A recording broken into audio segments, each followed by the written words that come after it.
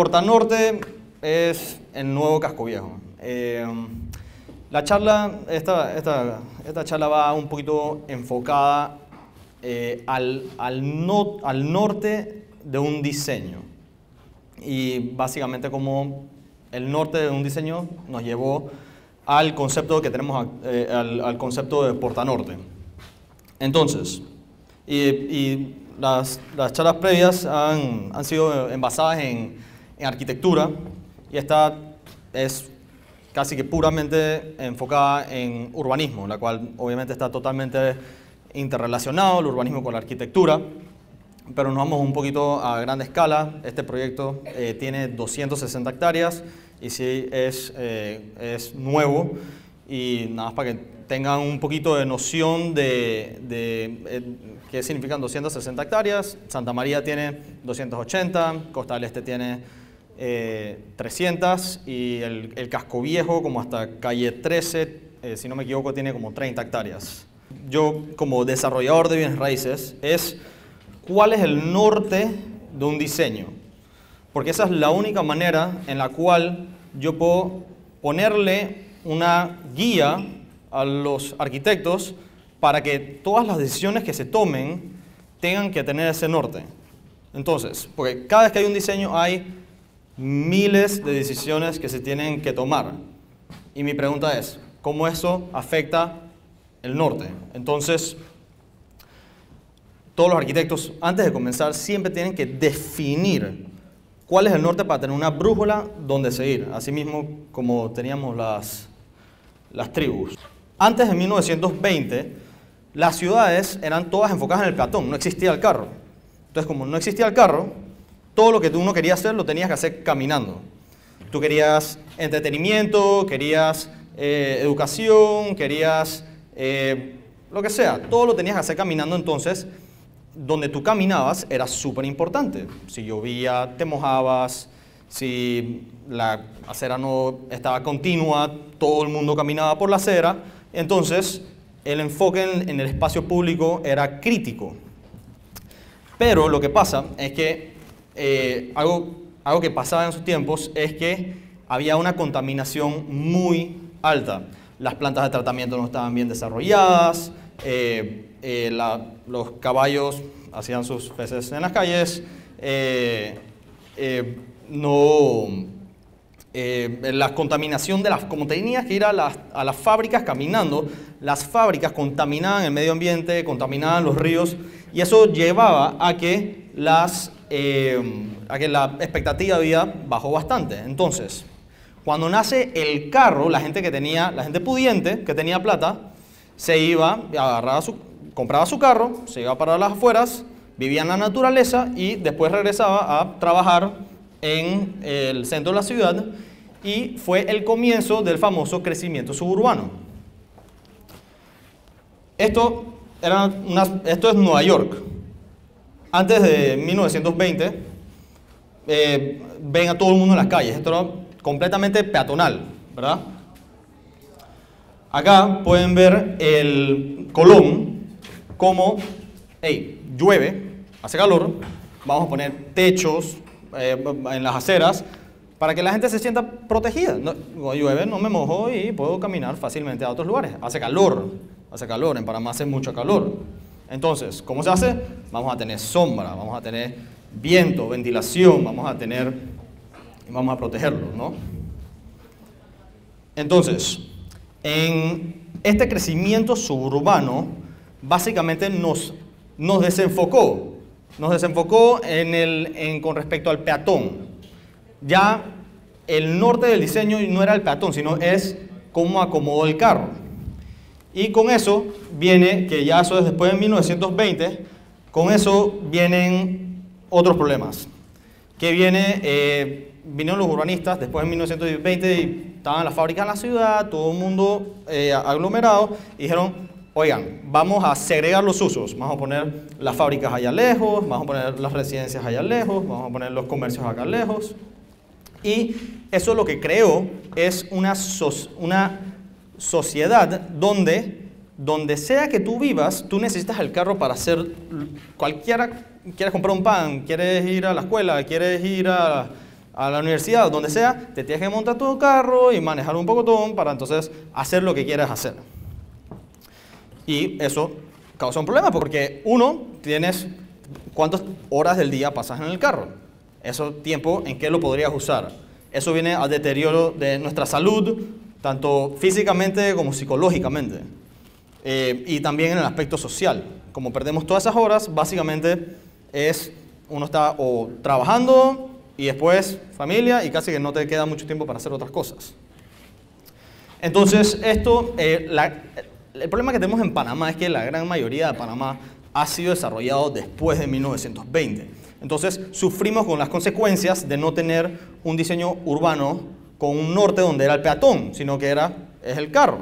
Entonces, tenemos eh, los gated communities o comunidades cerradas en la cual ahí sí, de verdad, literalmente todo lo que tienes que hacer, tú tienes que agarrar tu carro y lo primero que, lo primero que puedes hacer es salir a la garita, y esta es tu casa, quieres ir a la escuela. Entonces, el niño tiene que salir a la garita para entonces caminar a la escuela. Esos son cuatro minutos para llegar a la garita, para entonces comenzar a caminar y en diez minutos llegas. Y mientras, si tú tienes un diseño urbano cuadriculado, si tú quieres llegar de punto A a punto B, tú agarras la mejor ruta posible que no tenga tráfico y te mueves fácilmente en cualquier ruta. En, en la alternativa de la izquierda tienes una sola alternativa. Acá tienes más de 10. Puedes venir por acá, por acá, por acá, por acá. O sea, hay, hay, hay, hay muchísimas alternativas. Entonces, el mejor diseño eh, urbano, que es en todas las eh, ciudades históricas, es el cuadriculado.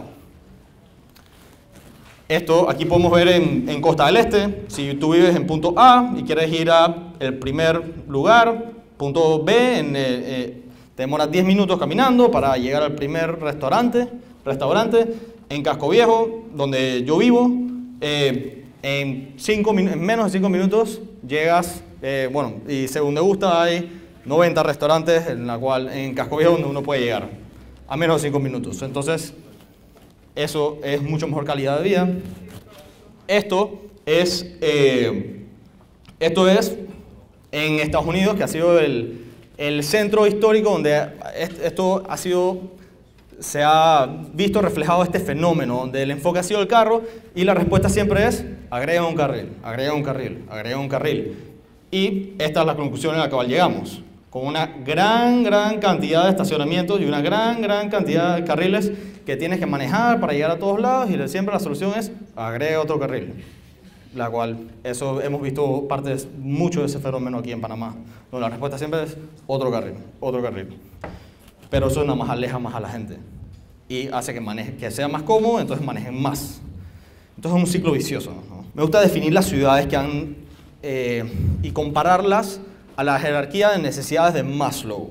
Comienzas con agua, comida, sin eso no puedes vivir, y después tienes seguridad, después tienes amigos, familia, amor, de la nada te casas, tienes hijos, etc. Entonces quieres estima y respeto y vas creciendo hasta llegas a la autorrealización y la creatividad. Entonces, ¿eso cómo se traduce a una ciudad? En la ciudad, si tú quieres venir a, vivir a, Panamá, tú dices, ah, bueno, si hay agua, comida, aire, refugio, ok, necesidad, necesidad satisfecha. Después hay seguridad, negocios, perfecto, es viable, es viable vivir allá. Después eh, puedo tener logros, puedo tener éxito, puedo tener salud. Increíble, ah, es vivible. Entonces después, ¿qué otras necesidades vienen? Vienen el sentido de pertenencia, yo me identifico aquí. Yo puedo caminar a lugares, puedo tener salud, puedo tener tiempo, puedo tener comunidad. Y al final de cuentas, lo, que, eh, lo, más alto es que es una, esta, una combinación de todos estos elementos es cuando llegas a tener cultura. Que eh, no es casualidad que el, lugar con más cultura de Panamá es el Casco Viejo, porque tiene los espacios públicos para poder que la cultura se desarrolle. Hay un fenómeno en Estados Unidos en el cual había muchos carros, había mucho crecimiento suburbano y este, hubo un movimiento que se llama el nuevo urbanismo, que la cual dicen, hey, acordémonos de las ciudades antes de 1920. Hay, hay, algo que aprender allá. Hay uno, vamos a estudiar Barcelona, vamos a estudiar Madrid, vamos a ver las aceras anchas, vamos a ver eh, qué pasa en las plantas bajas, vamos a ver los espacios públicos, vamos a ver eh, por qué la gente se sentía cómoda al caminar, tenían árboles, ¿por qué tenían árboles? Entonces, ese fenómeno que es básicamente, hey, acordémonos de esa historia, pero acomodemos el carro, hey, es una realidad, no nos podemos olvidar del carro. Pero traigamos a la mesa de vuelta al peatón y conversemos de él. No nos olvidemos, no nada más conversemos del carro. Entonces es el nuevo el diseño urbano donde la comodidad del peatón es el norte. Y esto lo vemos como, esto es un fenómeno eh, mundial en la cual está claro que si tú haces un diseño urbano con enfoque en el ser humano, va a ser un diseño urbano mejor. Entonces, tú agarras en las ciudades del mundo, están todas compitiendo para eh, ver cuáles son más peatonales. Entonces, esto es Nueva York, esto es Times Square. Times Square antes había muchos carros, ahora es completamente peatonal. Tú agarras Dinamarca, el centro se llama Stroyet, de eso el centro eh, peatonal va creciendo cada vez más. También en Madrid, en Barcelona con las superilles, incluso lo estamos viendo en Panamá eh, con eh, estas iniciativas, hacer aceras, poner árboles, etc. Es un, es un cada vez que a mí me gusta pensar que el Internet nos ha hecho nada más más inteligentes y más conscientes de que, oye, tenemos que enfocarnos más en nosotros para tener una mejor vida. Entonces, este fenómeno se ha traducido, eh, ha venido ya, en, Estados Unidos es, está por todas partes. Ya ha venido poco a poco después a eh, Centroamérica, está en, Guatemala, este es Cayalá, un proyecto nuevo, del, creo que eh, fue fundado en el 2009. Esta, la parte eh, Paseo Cadela, que es eh, caminable. Y este es un proyecto que se llama Las Catalinas, también totalmente patronal, en Costa Rica. Y, y bueno, vamos a ver cómo eso, ese, ese norte diseño urbano ha venido en Panamá. Esto fue hoy, venía para esta charla y dije, hey, vamos a, tomar, vamos a salir y vamos a, voy a caminar al café, que queda una cuadra, el café y voy a tomar fotos. Y estas son las fotos que tomé.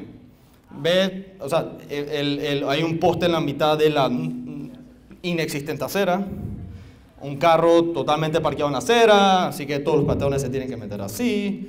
Eh, aquí tienes los cables de electricidad guindando, todos los carros en la acera, tú tienes que subir y bajar, pedazos de zinc saliéndote, o sea, en verdad corres peligro. Eh, todas las aceras están completamente carcomidas, eh, siempre, siempre tienes que estar luchando, ¿no? Aquí, ¿dónde está la acera? Inexistente. Entonces, por aquí es donde tiene que pasar el peatón. Casi es, eh, tú vives en Barcelona y es la gente de la mayor clase social camina para todas partes, usa el metro, va para todas partes.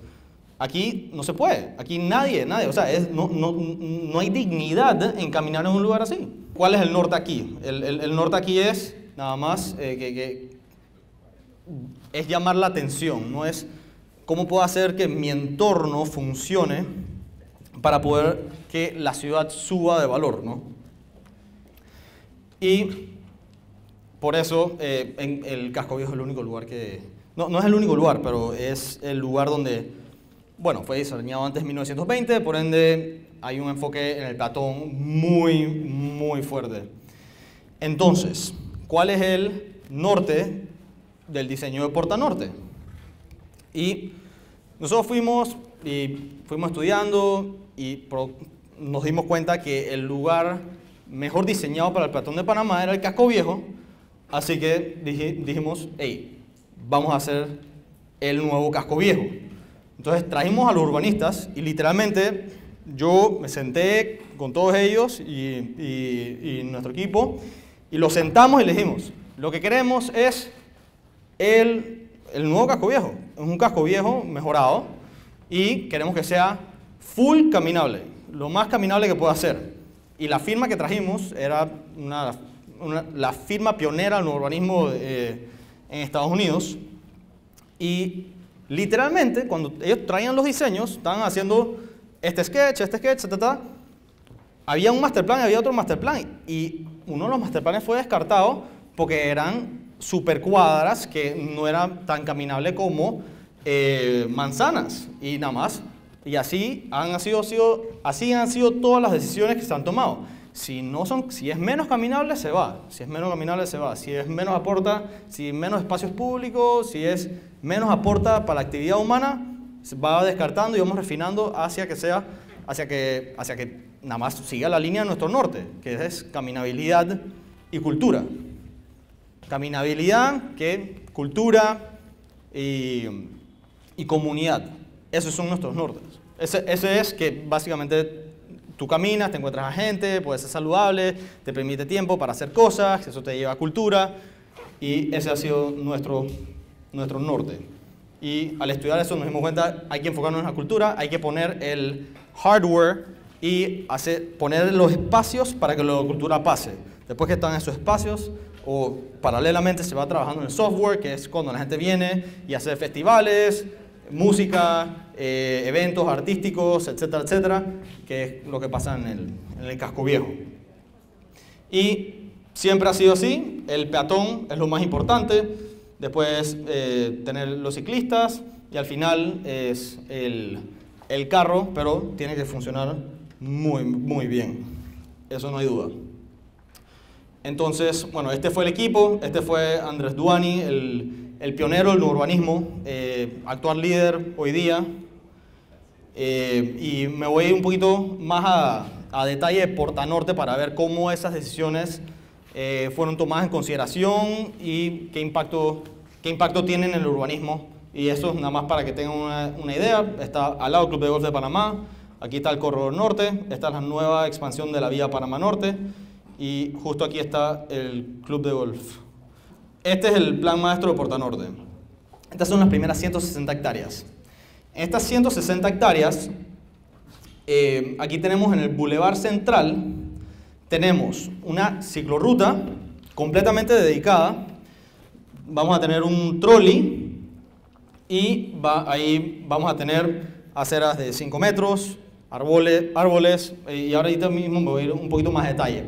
Pero lo más importante y lo que a mí siempre me gusta comentar de este, hay tres grupos marginalizados en nuestra sociedad, las cuales son los de la tercera edad, los niños y eh, los minusválidos. ¿Por qué? Los de la tercera edad, ellos paran de trabajar, perdón, paran de manejar mucho antes de lo que terminan de caminar. Entonces hay un lapso de tiempo en la cual nada más se quedan enjauladas en su casa, no se pueden mover, porque dependen de otras personas para moverse, entonces se les hace mucho más difícil y naturalmente eh, se van degradando más rápido porque no tienen, no tienen, la vida social empeora, la salud empeora, no pueden salir, etc. Y es un ciclo negativo. Eh, los niños, tú vas a España, en España desde los 9 años eh, puedes, tú ves a los niños andando en, la calle, yendo para la escuela, solos, solos. Eh, en Panamá, los niños salen de su casa por primera vez, si tienen carro, a los 16 años, porque no se puede caminar a ninguna parte. Y, bueno, los minusválidos en Panamá es, imposible que se muevan, incluso en el casco viejo, eso es... Eso, es, eso, eso no se puede. Básicamente, todos estos grupos marginalizados son dependientes de los otros grupos de nuestra sociedad. Entonces, en Porta Norte va a ser el primer lugar en Panamá a gran escala donde se van a poder mover libremente, eh, tanto usando el trolley, caminando, ciclorruta, etc. Eh, aquí esto ejemplifica un poquito el, tamaño y está todo enfocado a que eh, cada centro, desde donde desde donde vivas, a cinco minutos puedas satisfacer tus necesidades básicas y que no necesites tu carro para ir a todas partes y ganes tiempo.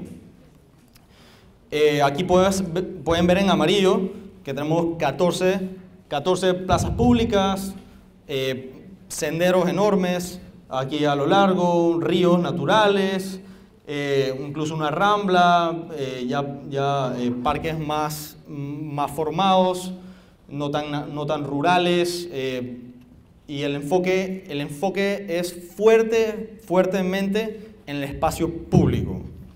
Aquí pueden ver, esto es una sección de nuestro bulevar principal, en la cual desde, desde la, la acera tiene 5 metros, ciclorruta de 1,70, completamente dedicada, separada del carro.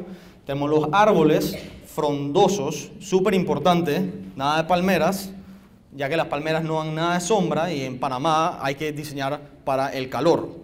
Entonces, los árboles frondosos son súper importantes. Y también todos los edificios, aquí tengo unos 50, pero en verdad unos 75, todos los edificios, y eso fue una excepción que pedimos en las instituciones, todos los edificios están retirados unos 75 y sobrevuelan unos 75 para que cuando llueva uno siempre esté protegido de la lluvia. Y está en el código que todos los, en la primera planta, todos los balcones tienen que ser completamente continuos. puede ser alero o, eh, puede ser alero o balcón. Eh, y tiene que ser completamente continuo para que siempre estés protegido. Porque es una realidad. En Panamá llueve y hace calor. Entonces hay que diseñar al respecto. Porque es, no es correcto cuando... A mí me dicen mucho, no, no, no, que en Panamá nadie camina. No, no, no, no, que en Panamá eh, hace mucho calor. No, no, no, que en Panamá llueve. Pero es porque no se ha diseñado contra eso. Tú vas al casco viejo, en el casco viejo todo el mundo camina. Pero entonces, si todo el mundo camina en casco viejo, ¿por qué camina? Porque los edificios dan sombra al peatón y cuando llueve, el 70% del tiempo no te mojas porque hay, hay balcones. Entonces, usemos eso, usemos eso. Pero hay que vivir ese tipo de urbanismo y experimentarlo para acordarnos, hey, me estoy mojando, hay que poner, y los arquitectos dicen, va caminando, se moja y dice, hey, hay que cubrir esto con alero, hay que cubrir esto con balcón. Pero hay que, hay que vivir la experiencia del peatón para poder diseñar mejor la experiencia del peatón. Estos son un par de renders del, del proyecto. Vamos a tener escuelas, todo lo que tiene una ciudad planificada, escuela, vamos a tener hospital, vamos a tener bomberos, muchos espacios públicos, es uso mixto, comercios en la planta baja, eh, muchas, muchas plazas. Esta es la primera fase, que ahorita mismo está en construcción.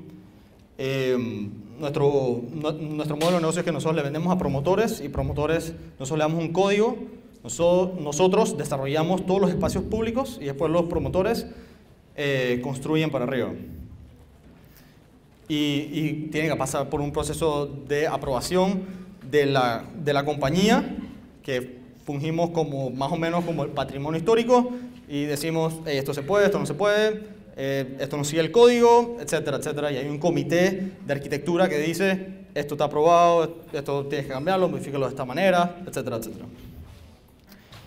Eh, y aquí pueden ver la similitud al, al casco viejo, ¿no? Si vamos a, si vamos a hacer algo nuevo, no lo inventemos, no reinventemos la rueda, agarremos lo mejor que hay autóctono en nuestro país y mejorémoslo.